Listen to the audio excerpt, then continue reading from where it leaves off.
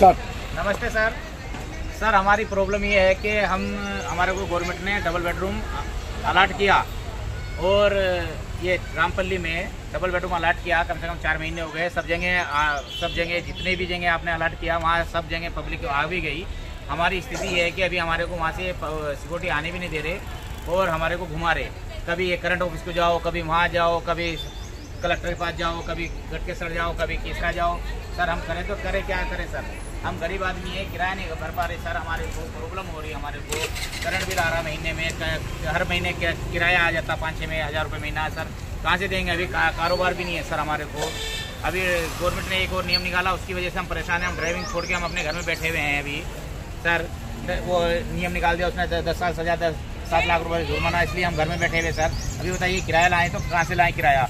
Sir इसलिए हम है ना आपसे रिक्वेस्ट कर रहे हैं हमारे को आप घर में एंट्री दिलाइए सर हमारा। हम इतने परेशान हो गए कि अभी हम रूम का किराया नहीं भर सक रहे। रूम रूम ओनर बोला है कि जाओ भाई तुम किराया नहीं दे रहे तो। अब हम गए तो वहाँ से हमारे को करंट नहीं है पानी नहीं है। वो बिल्डर बोला कि पानी नहीं है करंट नहीं है सर।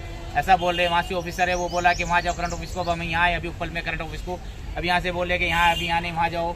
अब बताइए हम जाएँ तो जाएँ कहाँ जाएँ? हम आपसे request हम आपसे रिक्वेस्ट कर रहे हैं। कर रहे हैं क्योंकि काफ़ी लोग हैदराबाद से आने के लिए कम से कम उनको आने जाने के हम आपसे एक मिनट एक मिनट स्टार्ट नोट जी